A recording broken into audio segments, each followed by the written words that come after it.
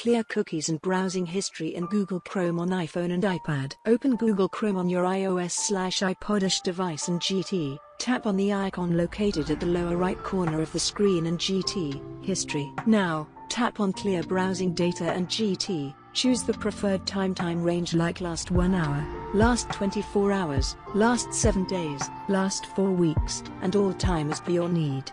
If you want to get rid of all the history in Chrome, make sure to select Saved Passwords and Autofill Data. Then, hit Clear Browsing Data and confirm.